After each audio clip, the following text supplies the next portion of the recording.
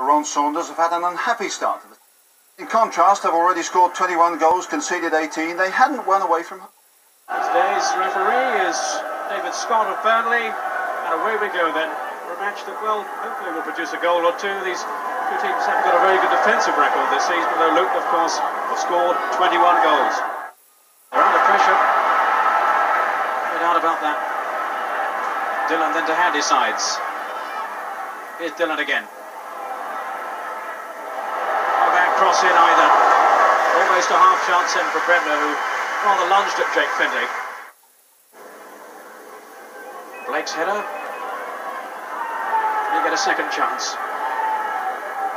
And Fuccillo finds Moss. Luton's turn to come forward now. Stevenson away. Come forward whenever the opportunity is. There isn't. It could be a chance now for Moss. And in the end, it was well saved by Jim. Almost got a touch for the ball as it was driven in then by Moss. Down goes Blyth. Such a great favourite here at uh, St Andrews, David Langan. Very consistent performer.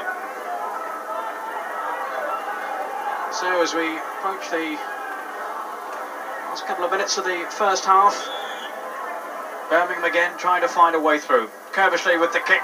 Up goes Blake. Stephens away.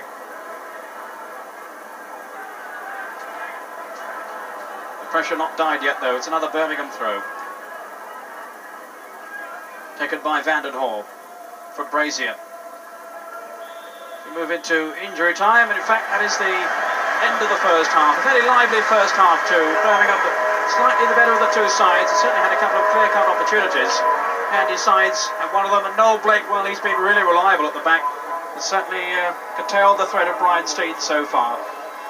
Kevin Bremner up front making his debut for the club on loan from Colchester. He and his fellow striker Colin Brazier have been a really lively front-running pair. For the half-time score is Birmingham nil,